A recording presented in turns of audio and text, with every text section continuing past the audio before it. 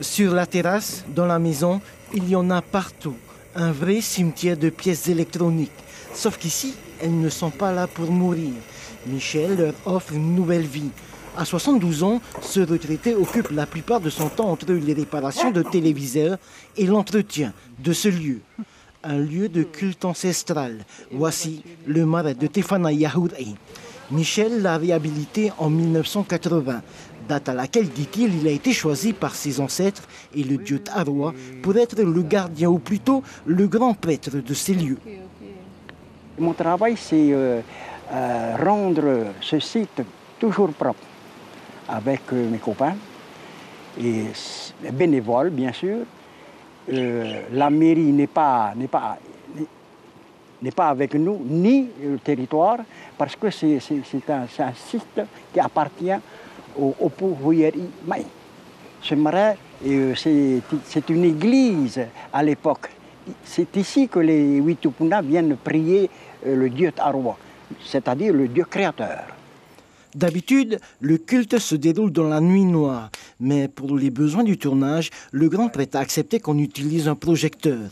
On peut ainsi voir que le culte se fait selon une organisation très précise, aussi bien dans son déroulement que dans l'attribution des interventions de chacun.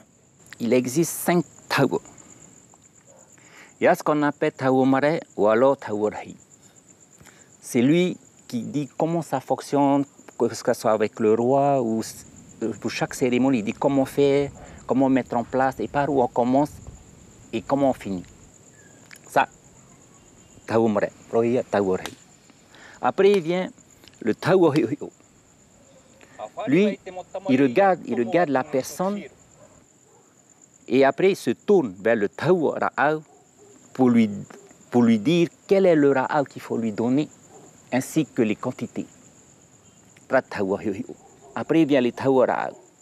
Et après vient les Tawa Umuti. Ça, c'est pour la marche, il y a sur le feu. Et enfin vient les Matoy. Des cérémonies, Michel et ses bénévoles en organisent plusieurs dans l'année. Cérémonies que beaucoup considèrent comme païennes. Mais pour Michel, elles font partie intégrante de sa culture et de son héritage. Ici, par exemple, il s'agit de la réunification des îles du Pacifique. Les cérémonies, euh, ce marin, on, le fait neuf, neuf fois par an. C'est-à-dire, euh, à l'époque, le 9 mai, par exemple, tous les motos du Pacifique, à l'époque, ils étaient entre eux, ils se mordaient les doigts entre eux. Et le 9 mai, euh, on les a regroupés, tous ces motos-là, pour qu'ils puissent s'aimer entre eux et donner euh, le, respect entre eux. En sa qualité de matoy, traduisé par un mage, Michel Paofei est le seul à pouvoir converser avec ses ancêtres et le dieu Taroua.